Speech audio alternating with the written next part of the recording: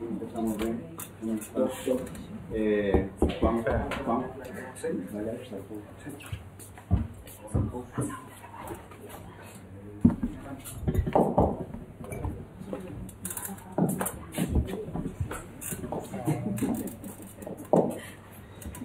Eh, hola, eh, tardes a todos. Mm, No voy a hacer una presentación de mis presentadores porque es un poco irracional, pero eh, si quería, eh, seguramente diré algo de- después de que hablen ellos.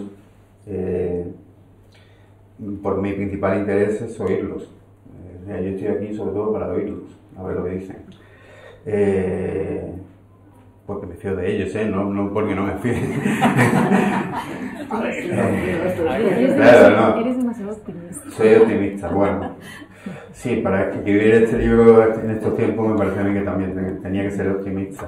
Pero bueno, Eh, sí quería decir alguna cosa antes. Primero agradecer eh, tanto a la librería central que nos acogiera y que me diera la oportunidad de encontrarme con tantas caras conocidas y algunos por conocer eh, eh, que hacía tanto tiempo que no veía y estoy no desterrado en Málaga, porque ya sabéis que Málaga ahora mismo es lo más de lo más.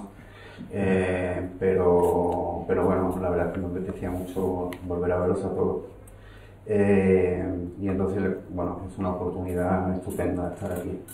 Luego, eh, quería darle las gracias también a la editorial Melusina, está por aquí eh, Elizabeth Palomín, en representación de la editorial, pero sobre todo a José Pons Beltrán, que es el director de la editorial, que, claro, la- todos los libros que son de una intrahistoria o una historia paralela que es eh, que yo, que, que, bueno, mi mujer Natalia le envió el, el manuscrito por internet y en, y en dos días contestó diciendo que sí, que lo publicaba. Es una cosa que me, yo me quedé como flipando, ¿no? Porque no, no, no sabía que podía ocurrir esto. Con las exposiciones, desde luego, no ocurre, que es mi terreno más habitual. Que te digan dos días que sí, que vas a exponer y que es imposible. Bueno, en este caso se dio así y no puedo más que agradecerle a la editorial y a sus responsables estas circunstancias. Luego, eh, una mención breve pero muy intensa por lo que han representado en la, en la génesis, en la gestación del libro, a, tanto a Miguel Morey, que ha escrito el prefacio, pero no solo eso, ahora os contaré qué más, y a Jesús Aguado, que es un poeta eh, nacido en, la verdad que ya no sé si fue nacido en Madrid, que en Sevilla y luego pasó por Málaga, pero ahora está en Barcelona, pues al revés, y es un poeta que tiene mucha relación con la India. Eh, tiene un montón de libros de poesía publicados, tiene una mente brillante, yo creo que uno de los mejores poetas que hay. Ellos dos eh, hicieron la presentación en Barcelona, que lo hicimos hace dos semanas, por circunstancias se adelantó, porque yo tenía que ir y se adelantó y se, se hizo una presentación en Barcelona. Ellos dos están en- en la- un poco en la génesis del libro. Jesús Aguado, lo voy a decir muy rápidamente, Jesús Aguado porque me descubrió rizoma. Entré una vez en mi estudio, porque no lo sabéis, pues os lo digo, yo soy fundamentalmente artista visual. Eh, entré en mi estudio, vio unos dibujos que había allí y me dijo, ¿tú has leído rizoma? Y yo le dije, ¿qué? Eh, y fue así, fue en el año 95, 96, debió de ser. Yo había leído el pliegue de Deleuze, pero no había leído el rizoma. Estas lagunas que tenemos los artistas que son gigantes, ¿no? Y, y bueno, eh, eh, así que ahí empezó un poco esta historia, porque ya me produjo un acercamiento mayor, yo me di cuenta que tenía mucho que ver lo que yo estaba haciendo realmente con rizoma. Y luego, eh, por circunstancias, Miguel Morey estuvo en mi tesis doctoral, eh, algo que me aterrorizó, sinceramente, porque bueno, me, daba, me daba miedo. Pues, yo, hice una tesis que tenía que ver con, con eh, el ritornello y con la ironía de Rorty, con el juego de Gadamer, y lo relacionaba en, el departamento de pintura de, de la Compro. Y apareció por allí Miguel Morey, y bueno, fue encantador y, y aprendí mucho.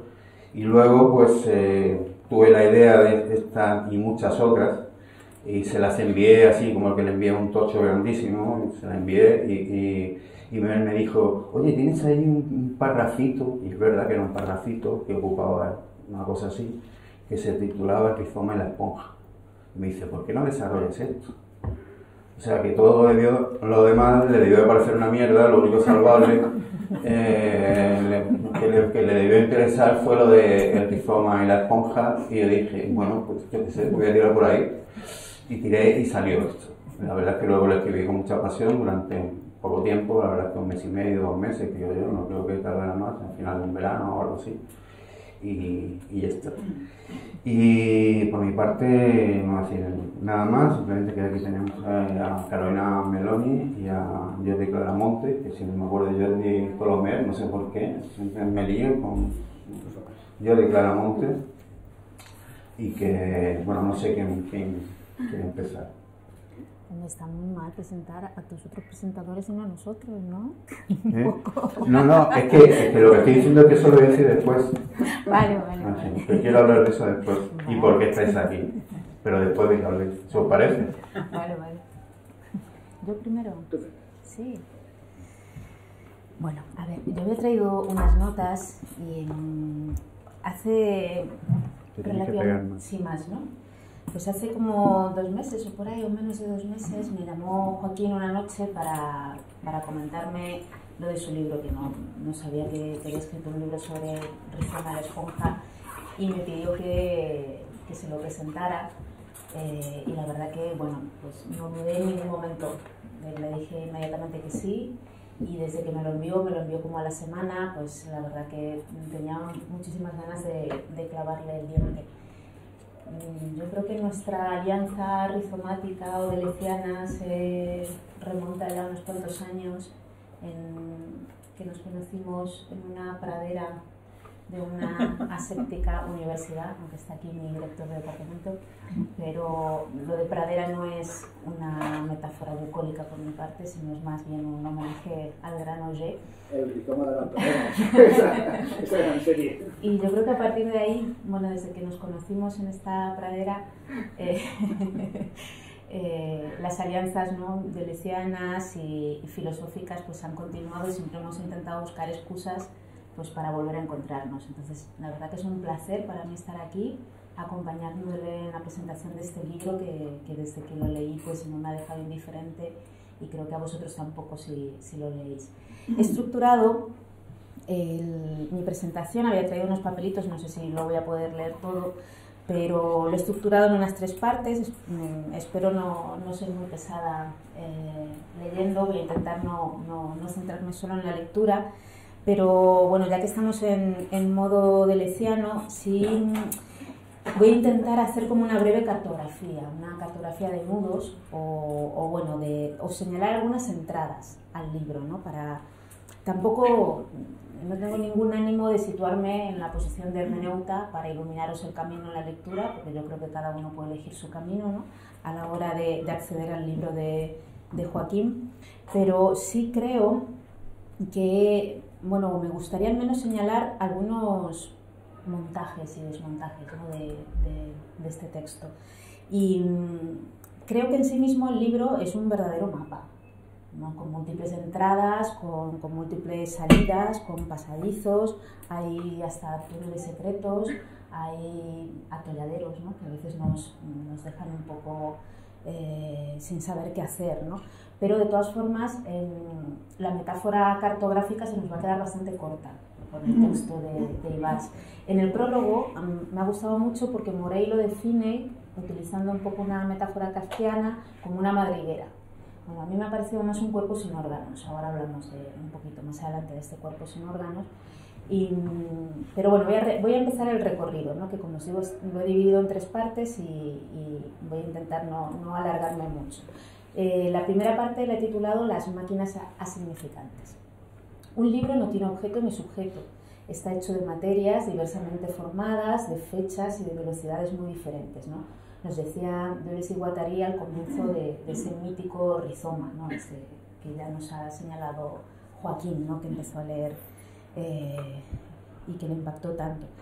Eh, casi 40 años ¿no? han pasado ya desde la publicación de este texto eh, incluido posteriormente en el segundo tomo de Capitalismo y Esquizofrenia, que como bien sabéis se titula Mil mesetas. Y como el propio Joaquín eh, señala, en esos años, bueno, yo creo que hemos coleccionado todo tipo de lecturas, de fobias, de pasiones, de afiliaciones, de fidelidades casi patológicas, ¿no? Y así como de críticas demoledoras, algunas más lucidas que, que otras. ¿no? De todas formas, el libro que presentamos yo creo que se sitúa en una dimensión distinta a la marcada por estas genealogías delesianas. Eh, dado que, y cito al propio Ibars, Rizoma nunca fue un asunto cerrado ni un problema resuelto, antes bien nos sigue proponiendo una trama que carece de argumento principal y que por tanto nos invita a generar, a repensar sus opciones, sus devenires. Bueno, me gustaría situarme ahí, en esa cadencia, ¿no? en el pensamiento que supone tomar el testigo de otro, de otro autor para de alguna manera eh, generar y producir formaciones distintas o caminos que nos trasladen a territorios completamente diferentes o derivas o de, devenires inexplorados. Eh, cuando leía Ibas me acordaba también de, de, de, esto que nos recordaba el propio Deleuze en conversaciones, no sé si os acordáis, cuando retomando a Nietzsche, decía que lo que hace un, un, pensador es, de alguna manera, lanzar como una flecha al vacío y es la excusa para que de otro pensador coge esa flecha y la vuelva a lanzar a un lugar totalmente distinto. ¿no? Bueno, yo creo que es lo que hace Ibars con Rizoma, ¿no? transforma profundamente lo que recibe y no deja de crear. No estamos, yo creo, ante una interpretación más del texto de Luciano Guattariano tampoco ante el homenaje del fiel discípulo que continúa de alguna manera el legado de sus, de sus maestros. Aunque es cierto que desde el comienzo, bueno, al principio mismo, Ibars declara de una forma bastante abierta que, que, no es su intención matar al padre.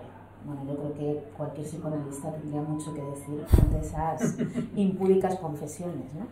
No, yo creo que el rizoma y la esponja es otra cosa. Es un orden diferente posee un ritmo para mí insospechado, ¿no? que nos balancea sobre el texto de Deleuze y de Guattari, a veces de una manera pausada, moderada y aparentemente prudente.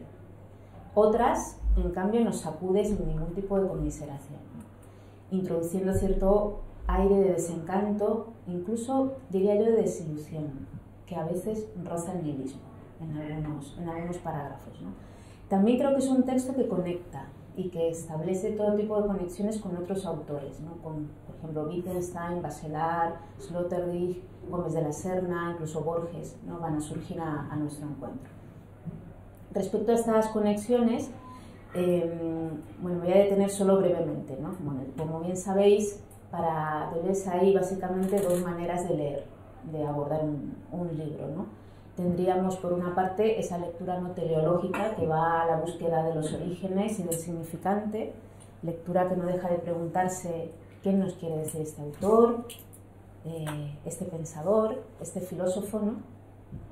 Una lectura que pide de alguna manera explicaciones a cada línea, a cada párrafo, a cada capítulo, esa lectura arbórea, diríamos, utilizando las metáforas delesianas, fijada a un territorio, que va siempre a la casa de las genealogías y, de los orígenes.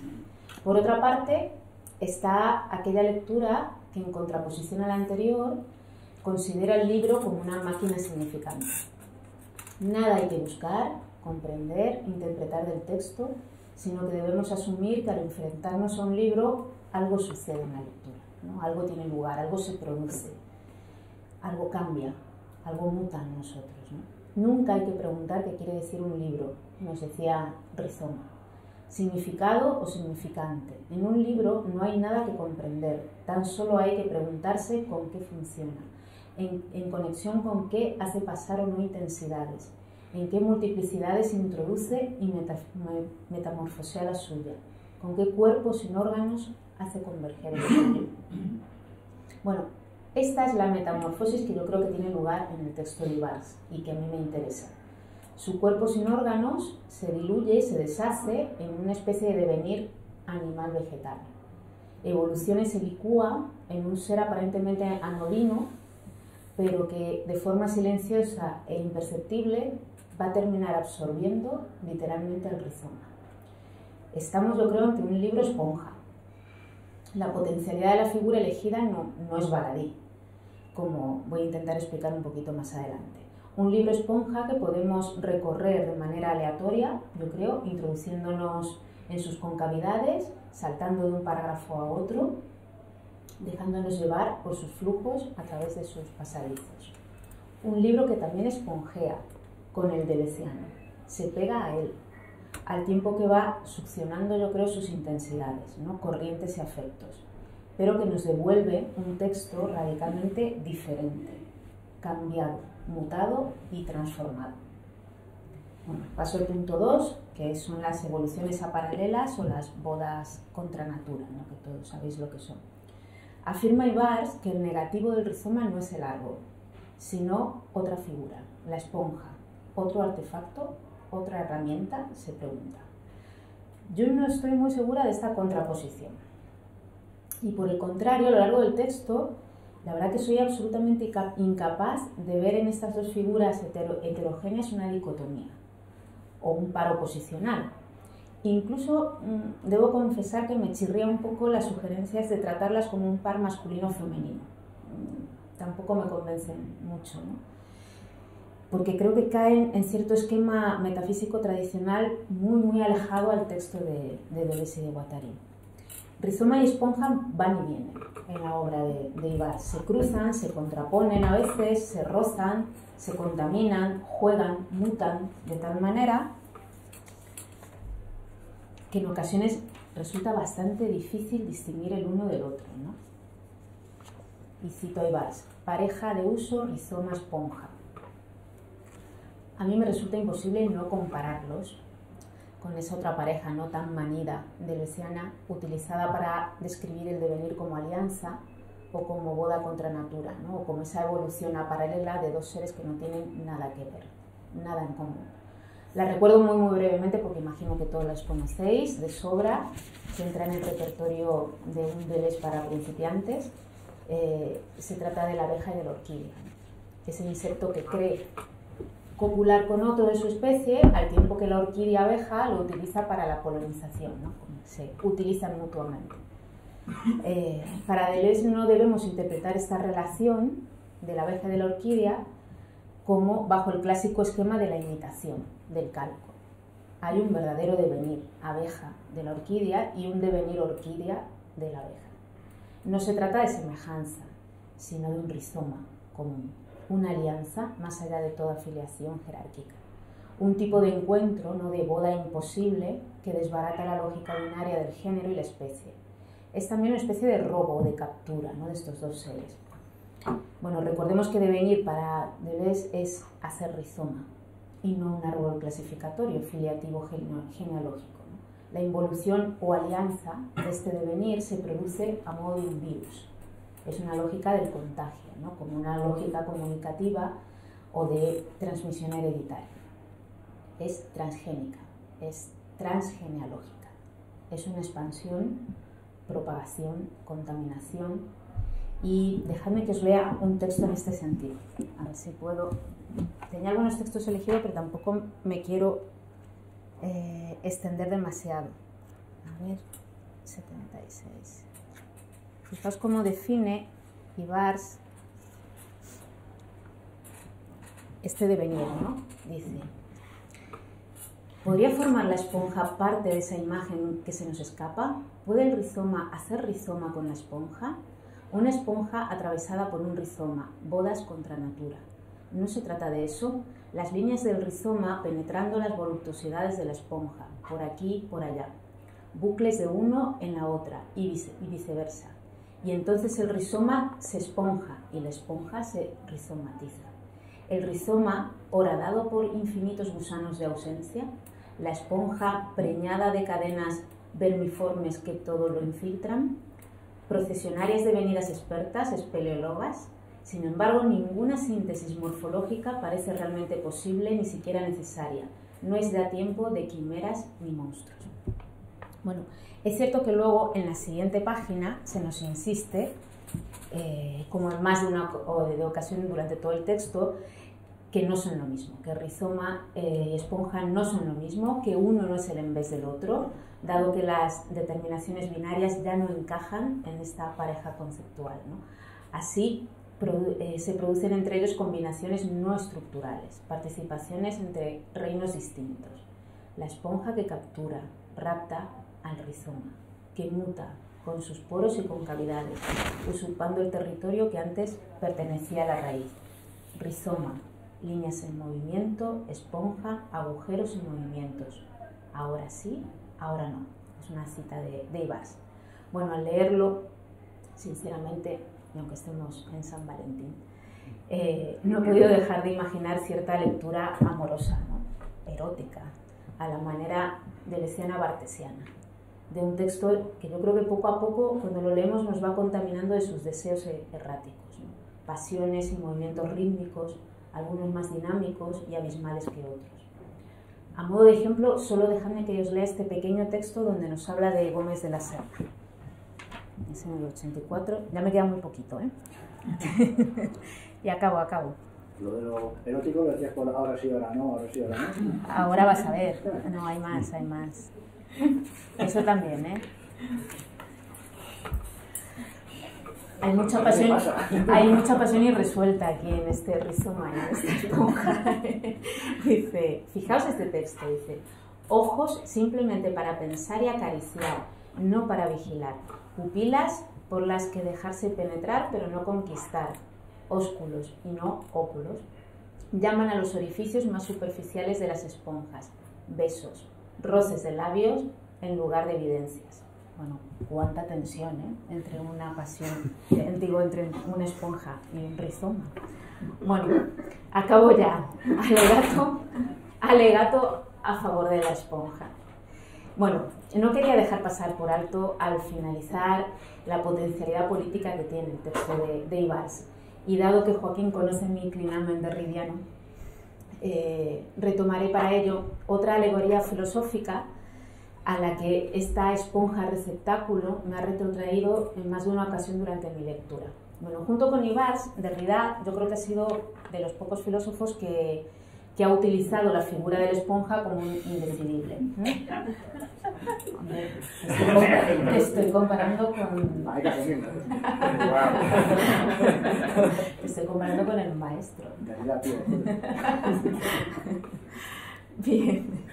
Eh, ya, ya, me habéis desconcentrado.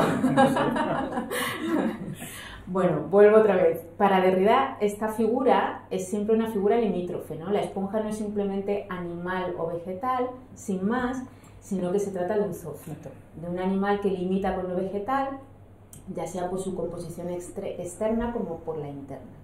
La esponja posee también la forma sin forma de un eh, laberinto inhabitable pero lo que más me interesa de esta figura de la permeabilidad, de la porosidad, es la capacidad y la potencialidad que posee para desestabilizar todas aquellas oposiciones ontoclasificatorias que intentan definirla.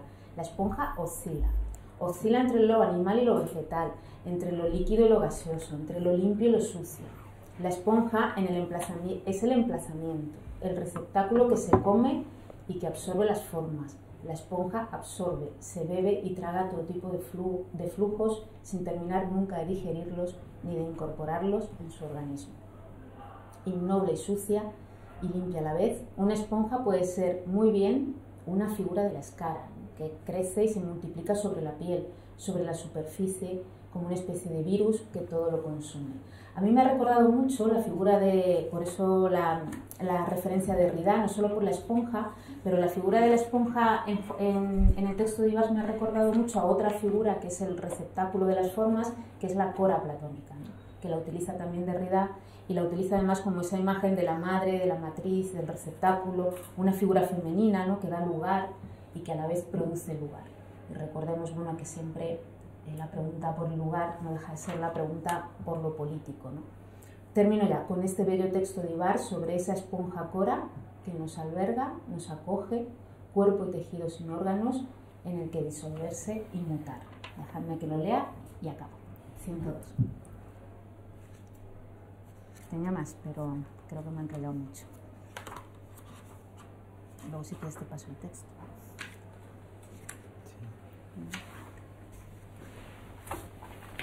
Esta, que es, para mí es cora total. La esponja constituye el albergue por donde todo puede circular sin adherirse a sus paredes. Apenas crece hacia afuera, sobre todo lo hace hacia sí misma, hacia adentro. Se pliega para que la superficie se multiplique. Calmada fluencia que permite un mayor trazado de recorridos, otras estancias donde el desapego irónico se confirma a medida que más atributos se deslicen por sus canales, siempre en vías de reconfiguración, sin exclusas. Es la porosidad la que permite el tránsito y sin embargo nada se obtiene. Mi silencio y mi espacio son tuyos, cógelos, están a tu disposición. Estás en mi casa, que es la tuya, pasa y alójate. Toma cuanto necesites, parece decirnos, pero no intentes colonizar mis distribuciones, no fuerces mis pliegues, no me intoxiques, mucho menos de mí mismo. Muchas gracias, Joaquín. Gracias a.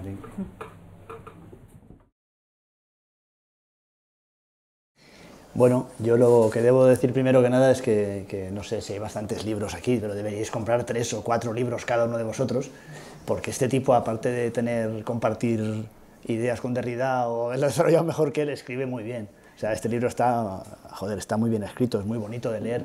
De hecho, si hay algún poeta en la sala, podría quedar la tentación de coger el libro, partirlo cachitos así en plan versos y tal, y triunfaría, porque es que funciona muy bien, tiene imágenes potentes y, bueno, esa es una parte de, jabón inevitable en esto de las presentaciones, pero que es cierta en este caso. Y bueno, yo creo que es de lo, más sensato que podré decir, porque al contrario que, Carolina no, tengo demasiada idea de, de Deleuze, y de hecho no tengo una gran idea tampoco al respecto. No sé por qué me han invitado, no se le ocurriría a nadie mejor. Pero o sea, a mí yo siempre digo que eso de la filosofía francesa es una contradicción en términos, o es filosofía o es francesa.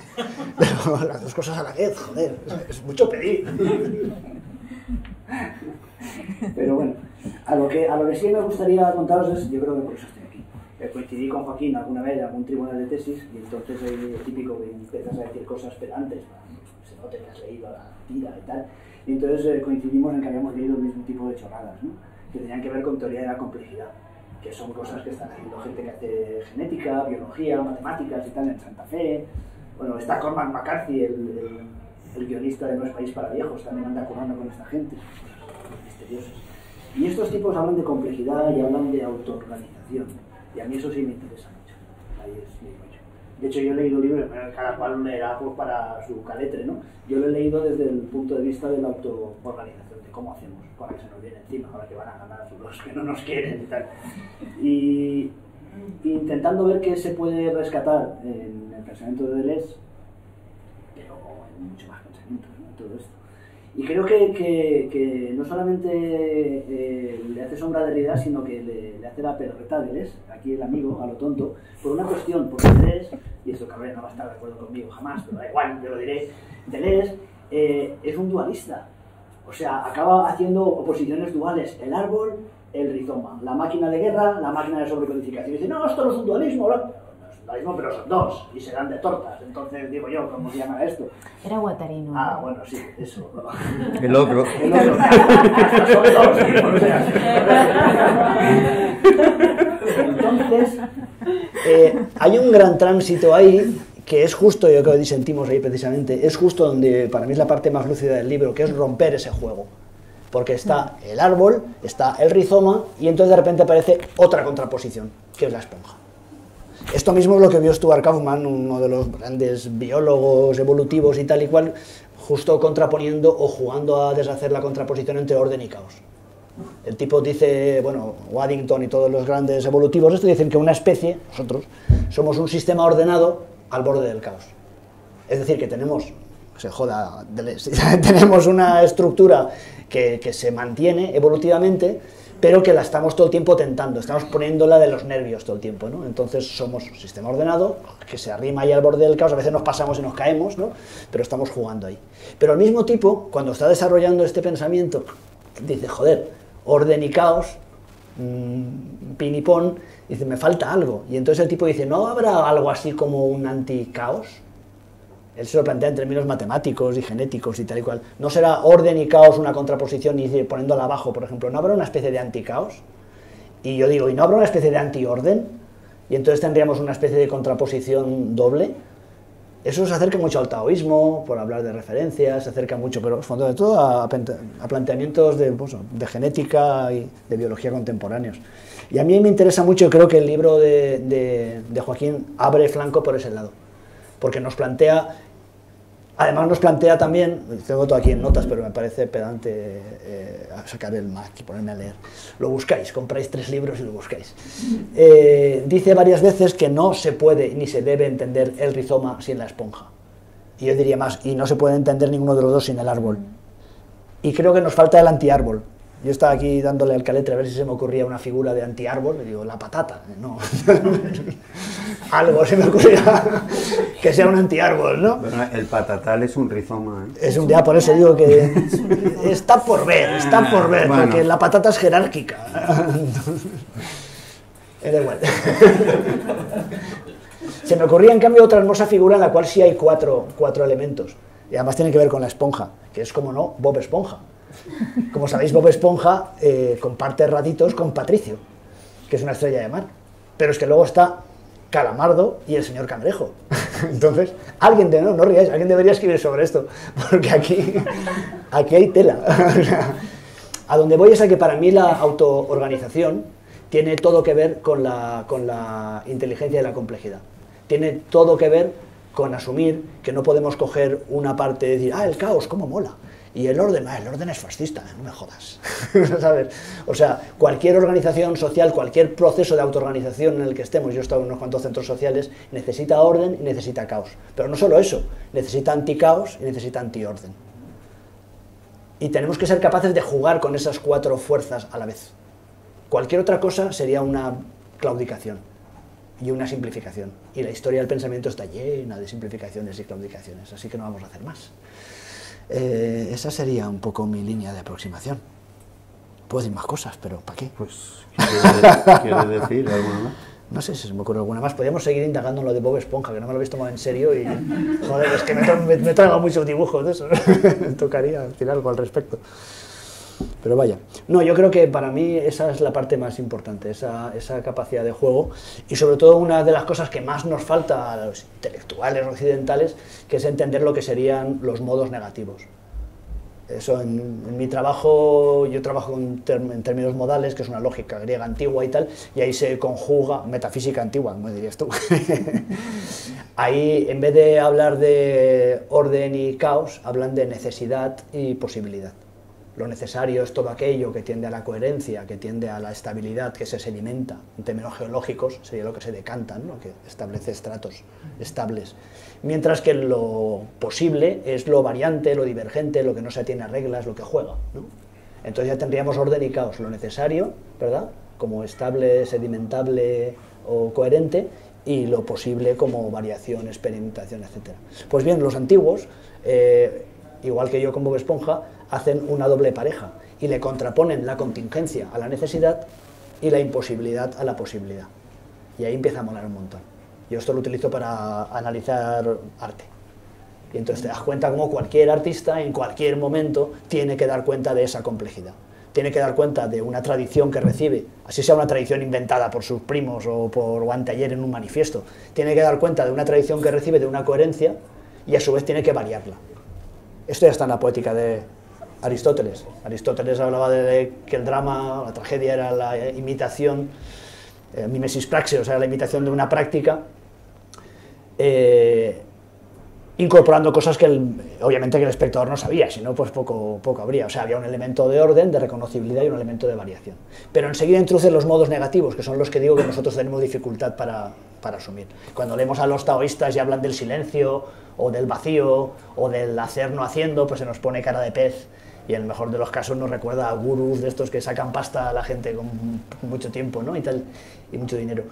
Y yo creo que es de las cosas que, más nos va a entender. Lo digo porque, por ejemplo, en términos biológicos de nuevo, eh, los ecosistemas funcionan con dos claves que podríamos llamar, orden y caos, memoria y revuelta. Un ecosistema se acuerda de lo que es y se intenta parecer a sí mismo, se reproduce, se automimetiza, pero a su vez experimenta momentos de revuelta. Pequeño incendio, unos, algunos cambios ligeros y hace que experimente cosas. Pero memoria y revuelta se contraponen a su vez con olvido y reacción. No hay revuelta sin reacción, no hay memoria sin olvido. Y esas cuatro fuerzas están juntas. Y eso de nuevo, me haría falta una pizarra porque dibujándolo es mucho más bonito, pero vamos, hay que joderse. Pues eso mismo yo lo veo asomar en el libro de Joaquín, veo que aporta una gran cosa, creo que le hace un gran favor a los deleucianos, aportando la noción de esponja.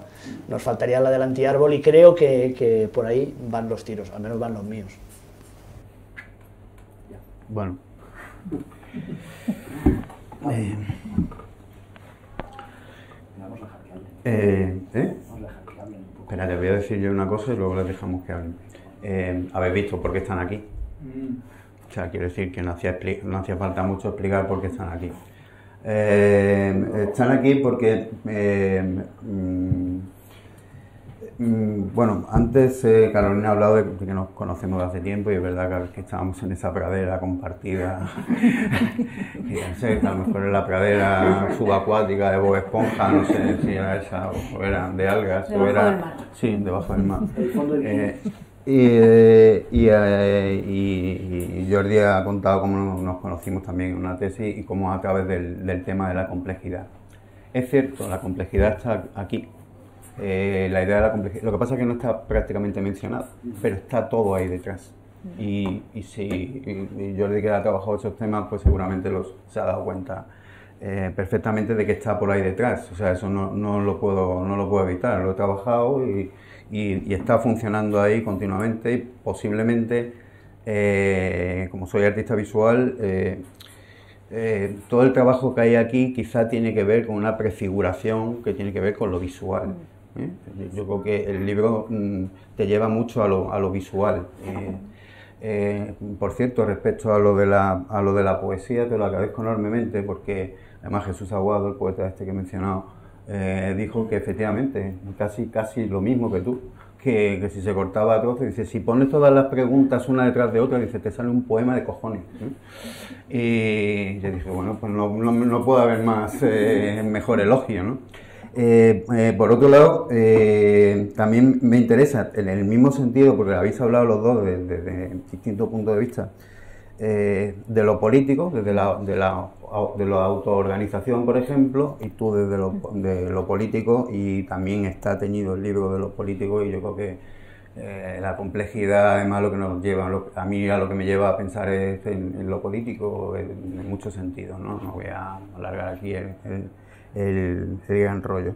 Eh, un- una cosa que, eh, que quería comentar eh, es que hay, hay últimos descubrimientos en el sentido biológico y genético, etcétera, que dicen que probablemente la esponja es el primer animal que, que existió sobre la Tierra con ADN animal. Es decir, que esto, esto lo descubrí años, dos o tres años después de escribir el libro, porque el libro de 2000, está escrito en 2014. Y esto, esto- estos descubrimientos son relativamente recientes. Y deciros también, que porque a lo mejor eh, aquí no lo hemos mencionado, que la esponja tiene esa característica, primero de que es algo poroso, en fin, algo que todos sabemos, pero que sus células son totipotenciales. Es decir, esto es muy importante desde, desde el punto de vista autoorganizativo, porque eh, cada célula puede derivar a funciones eh, diversas, es decir, es una especie de células madre, cada una de ellas, todas y cada una de ellas son prácticamente células madre. Por lo tanto, es un animal, no solo eh, parece ser el primero, esto siempre va a haber líos, pero porque los biólogos y los genetistas se pelean tanto más que los artistas y estas cosas, pero probablemente lleguen a la conclusión de que sí fue el primer animal que se puede considerar con ADN animal. Eh, como curiosidad me parece que, es interesante esto luego, eh, eh, lo que decía, porque no, Pues me, estaba regañando Carolina, no, no, no se ha presentado y tal. Eh, sí, no se ha presentado hasta ahora. Eh, y tampoco los voy a presentar muchísimo. Hoy día lo de las presentaciones uno se va a internet y sabe quién es cada uno y ya está, no sé tampoco lo que ha hecho y tal igual.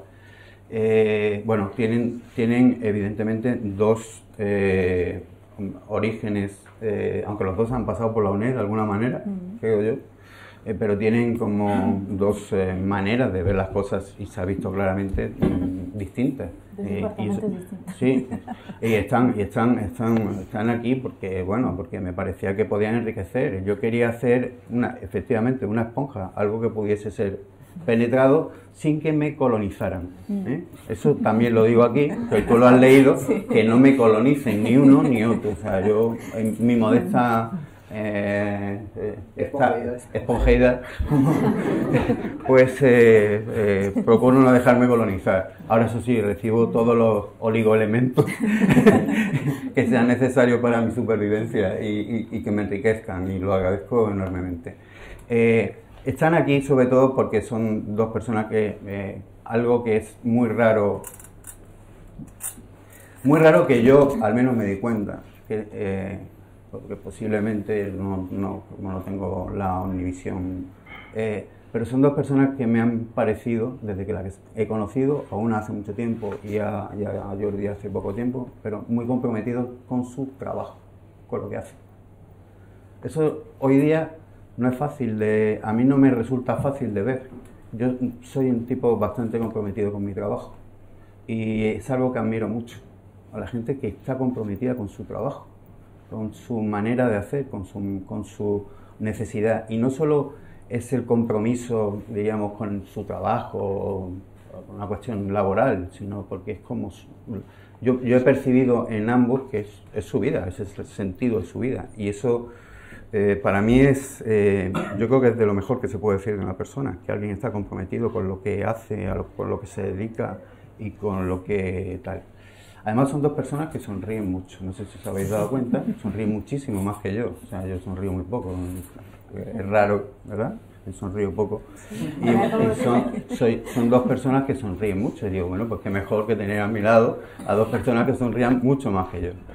Eh, y luego tienen un compromiso, además, eh, eh, lo han tenido, podéis mirar su, ya digo, en internet, pero los dos tienen, vienen de tener compromiso político eh, importante, serio, social, no sé cómo llamarlo, eh, pero que a mí también me, me admira mucho. Yo, mm, yo, lo he, yo lo he mantenido quizás más desde la distancia y más desde otro punto de vista en las producciones artísticas y tal, pero a lo mejor no tanto a, a pie de calle como ellos sí lo han, lo han hecho. Y claro, para traer un clon de mí mismo, pues para eso venía yo solo.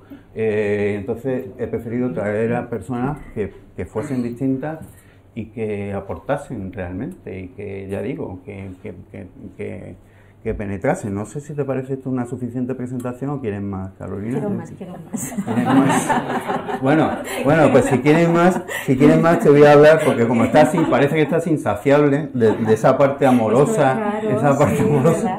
De- Es que San Valentín, ya te lo he dicho. que San Valentín. bueno, esto lleva a mejor no decirlo, No te pero nervioso. no, no me pongo nervioso. Eh, mm, Como dicho, sí, sí. Que te haya tocado el finamente lidiano o algo así. he dicho. El clinamen, sí. El clinamen. Eh, eh, sí, sí, sí. Eh, sí, eh, hay, hay eh, un- una cosa que, que- que- que has dicho también, dice, eh, que había que haberlo, hacerlo mirar por la psiquiatría y tal, lo del, lo del matar al padre, padre, lo de matar al padre. Sí. Esto, esto también, también perdón, Sí, perdón, por, perdón por la referencia, pero también me lo dijo el poeta este, que es muy listo, ¿eh? Y me, me dijo, dice, dice, este cabrón, bueno, no lo dijo así, pero lo digo yo, dice, eh, dice, dice, dice que no quiere matar al padre, dice, dice, pero es que claro, no lo mata así, sino que lo va, lo va asfixiando poco a poco a lo largo del libro. me hizo mucha gracia, porque, y porque además creo que tiene mucha razón. Eh, Moray decía, dice, no, aquí no empieza, el- no empieza a hablar de la esponja hasta el capítulo 13. Dice, pero cuando empieza, empieza. O sea que eh, empieza a dar. Y efectivamente. Sí, sí. Pero eh, tengo que decir, o sea, eh, no me siento, eh, eh, o sea, me siento cerca de, estos asuntos de la complejidad, muy cerca, desde siempre, desde prácticamente desde el principio, pero también me, siento muy cerca de eso que, que Jordi ve como un, imposible, que es el pensamiento francés. Eh, me siento muy cerca porque creo que tiene mucho que ver. Es lo mismo que me pasaba con la, con la ironía de Rorty, por ejemplo, que, me, que dice, bueno, que este, este, tipo es un pragmatista americano, que tal, pues me sigue interesando, o sea, sigue pasando el tiempo. Porque de eso hablo un poco en el libro, o sea, eh, más que de contraposiciones hablo de ampliación. Yo lo que trato de hacer es ampliar, en vez de oponerme, porque alguien podía pensar que había escrito un antirrizoma. Y, no, para mí no tenía sentido hacer un antirrizoma como se hizo una, como ellos hicieron un antiedipo. Quería hacer un modelo totalmente distinto y por eso me parece que no caigo en, que no caigo en, los para mí errores que se han cometido mm. eh, tanto en los eh, ah, podríamos decir apocalípticos como integrados del, rizoma, ¿no? Como los, los forofos o los, o los tal. Y y respecto a lo de lo amoroso, lo vamos a dejar para otro, para otro día, que cada uno lo entienda como quiera y, tal, porque, eh, en fin, no sonrío mucho, pero sí soy cariñoso, ¿eh? que no me parezca. Eh, bueno, ya vosotros si queréis preguntar algo, comentar algo, si vosotros queréis decir algo más. Venga, animaos a comentar algo o a preguntar algo sin haber leído el libro no, no, es tan fácil, ¿no? Pero hay alguna cosa ahí que me, que me late, por lo que se me viene encima, con el tema de la autocensura y esas puertas que se nos van a cerrar en los submundos o canales subterráneos de la esponja y no sé si eso lo tienes ahí como... O sea, has planteado algo sobre esto, ¿no? Esta, esta eh, restricción, autorrestricción autoimpuesta, que parece que es a lo que vamos, ¿no? A que cada uno se calle un poquito más, no porque le digan que se calle, sino porque cada uno dice ya no puedo, ya no puedo seguir hablando, ¿no? Entonces me gusta, no sé, tengo ganas de coger un leer. no. Eh, yo ahí lo que, lo, lo, que te puedo decir es que, bueno, esta ha sido mi primera experiencia realmente como sea, ponerme a sentarme a escribir un librito y tal, ya he comentado un poco cómo han sido los orígenes. Y yo la censura para nada, o sea, que no, que no, pienso, no pienso permitir que nada me... Nunca lo he hecho como artista, pero no solo en el sentido que bromeaba antes de la colonización, que, que por supuesto que admito una, una, cierta colonización, si no sería un imbécil, mm. pero, pero desde luego esto con esto de la censura ni autocensura ni nada. O sea, aquí sí que hay que poner orden. Es un, es un temazo, porque si hubiera un tipo de censura solamente estaría chupado, pero es que hay más. Entonces, la censura clásica es la del miedo. Tienes miedo a que te hostien o miedo a que te echen o lo que sea, ¿no? Y ese es una forma de censura o de autocensura, ¿no? Pero luego aparece otra censura que se llama la fricción. La fricción. Fricción es cuando de, de repente deviene fatigoso ¿sabes? Decir según qué cosas. Entonces no es que te asusten, no es que te acojonen o te vayan a dar una paliza al salir de casa, pero se te vuelven a hacer las cosas difíciles, se hacen engorrosas, ¿no? Y entonces es una especie, se vuelve cansino. Y entonces te acabas cansando y te acabas censurando por fricción. Y no acaba ahí la cosa. Hay otro tipo de censura, que es la de, la que por ejemplo puede haber hecho Carmena, que es la de al revés, la de la inundación. O sea, de repente, ¿quieres datos? Toma datos. Transparencia total. ¿Sabes? Te contamos todo. No, es que no quiero que me contéis todo. ¿Sabes? Por favor. Entonces, hay otro tipo de censura que tiene que ver con esa especie de sobreabundancia, de sobreinundación y tal y cual.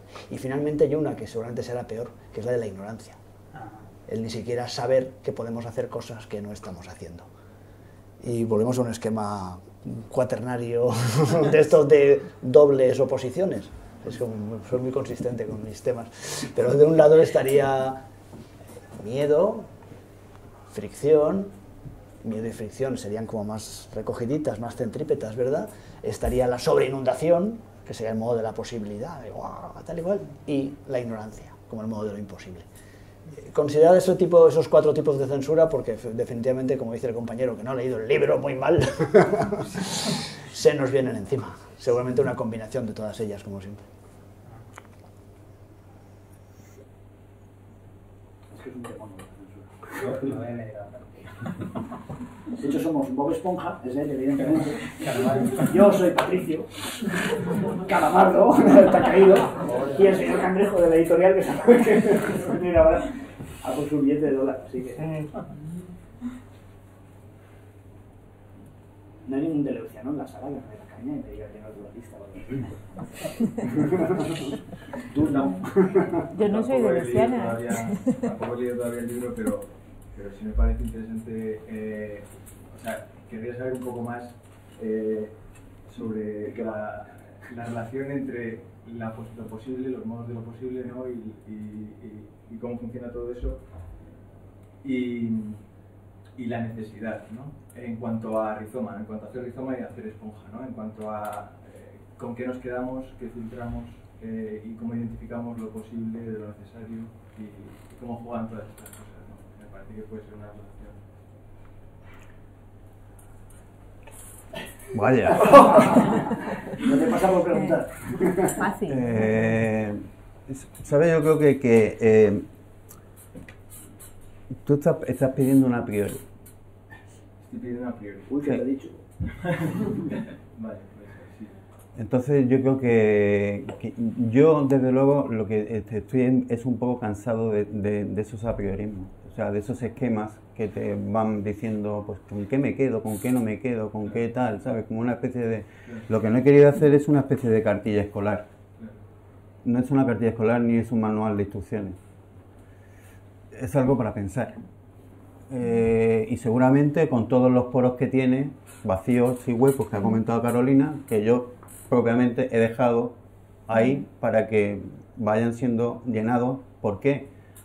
Por tu experiencia. Es lo que a mí se me, como ya digo, como, como, algo, como algo visual que yo dije, necesito, o sea, no me es suficiente el, Sí, el- claro. el- esa construcción eh, rizomática, me hace falta algo que me deje respirar, joder, que me deje, un- que me deje espacio, que, me, que, me- que no me obligue a... Yo decía, yo decía, me parece que digo en algún momento en el libro que, que- que por fin seremos liberados de la- nuestra tarea de carceleros, es decir, de capturadores. Sea, que, eso es una obligación, es que yo salgo a la calle y tengo que estar capturando todo el tiempo. ¿Capturando el qué? Cualquier cosa. Cualquier cosa. Cuando a lo mejor lo que eh, una de las posibles eh, encomiendas que podía tener es deja pasar, deja pasar. Eso sí, deja pasar, pero no, no, no me colonices. ¿eh? O sea, en esto insisto, porque es que si no, lo que estoy haciendo es facilitándote a ti la captura. O sea, yo no capturo para que captures tú, para que me captures tú. No, no, que no se trata de ese juego. Yo insisto ahí que el ¿Eh? taoísmo Es- tiene. es- es- entonces lo de la, lo de la toxicidad, eh, o sea, lo de que, que es tóxico que no es tóxico, es que tenemos, es que tenemos, tenemos que tener un crecimiento y una experiencia eh, vital para ir decidiendo. Cuando llegamos a la conclusión de que una persona es tóxica, decimos, pues, pues, es que es tóxico, pero no me había dado cuenta hasta 30 años después que llevo viendo, conviviendo con ella, ¿no? Está gilipollas. Pero bueno, pues es tu experiencia, tendrás que, eh, tendrás que darte tu cuenta de qué cosas te, te vienen bien o no. Eh, o sea, e- e- eso de eh, esa diferencia entre qué quiero y qué necesito, que me parece que es fundamental. Una cosa es lo que quiero o lo que me han dicho que debo querer, que, que hablaba de esto de la captura, y otra cosa que necesito. A lo mejor lo que necesito es que me dejen en paz un rato. Lo que estaba diciendo antes yo re- respecto a lo que ahora todos los datos. Ahora, te- tenemos un problema ahora con los big data, con los, los numerati, con no sé qué, tal. Es una saturación. Yo lo que estoy diciendo aquí es no me satures, no, no saturar. O sea, yo digo que va a llegar un momento en que no va a haber espacio, no va a haber ni un hueco para nada, porque está todo hiperconectado hasta tal punto que va a ser una especie de gran agujero negro, una gran masa que, que- que no sirve para nada. O sea, que es como una especie de, de- de- de bloqueo absoluto de todo, por, por- por exceso de, de conexión, de saturación y de todo eso. Entonces, Esclerosis, ¿te acuerdas que hablamos de ello? sí, sí, la esclerosis y en las que yo digo que, por ejemplo, y yo, hablo, yo, yo digo también que, que la esponja corre el riesgo de la esclerosis. Sí, yo lo había señalado esa excepción. Corre el riesgo de la esclerosis porque, porque eh, la esponja se puede convertir en una especie de roca de lava volcánica. Y, y dice, bueno, entonces ya ni pasa nada por ahí en medio, ni filtra, ni hay células totipotenciales, no sé qué, se ha convertido en una especie de fósil de sí misma, muerto, que, claro, es un modelo que corre un riesgo tal como lo corrió, como lo ha corrido Rizoma y como todos los capitalistas flexibles han sabido entender perfectamente, que les ha venido de puta madre, diríamos, el modelo rizomático, porque tal, y, y- y ahí es donde se han producido muchos, muchas idas y venidas respecto a, a, a dónde se situaban Deleuze y Guattari ahí, qué papel estaban jugando y tal y cual, que yo intento rescatar, ¿eh? yo pienso que no, que por supuesto no estaban en esa, en esa mierda, ¿no? Pero, pero bueno, eso es lo que... Pero eh, diríamos que es un, es un libro pensado para que encontremos huequecitos, ¿sabes? Huecos. ¿Eh? Un poquito de respirar. Eh, eh, Jordi dice...